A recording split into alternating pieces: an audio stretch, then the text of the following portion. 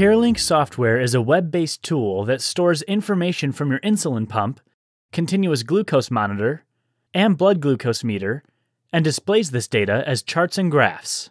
CareLink personal software lets you share device data directly with your healthcare professional by linking them to your account. Once linked, your physician will automatically receive your data, so you won't need to upload in the office. Reach out to your healthcare professional to learn more about linking.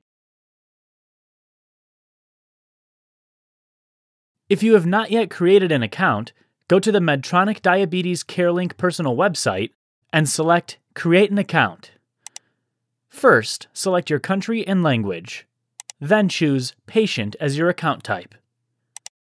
Read the terms of use and select Yes to continue. Read through the prompts to complete the consent agreements. You may need to scroll down to see the entire message and agree. These questions tell you what data CareLink software will be collecting and how it will be used. It will also allow you to agree to let your healthcare professional view the data. Now, fill out the enrollment form and create your personal profile, which includes a username and a password. Please save this information in a secure place for future reference. You will need this information to log into CareLink software from a personal computer, and when you use applications that link to your CareLink account. Some countries allow two factor authentication. If you check the box to enable two factor authentication, a confirmation code will be sent to the email you provided. You will be asked to enter that code before you complete the registration process. Scroll down to complete the other questions.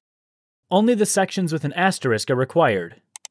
When you have finished, you will see the Enrollment Completed screen.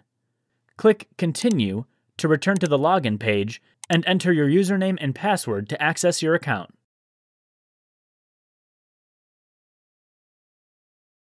Using a compatible browser on your computer, go to the CareLink personal website and log into your account.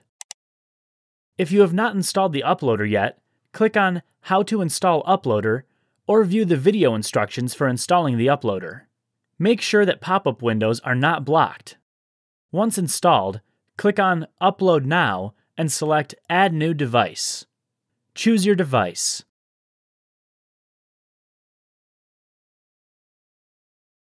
Click on Upload Now and select Add New Device.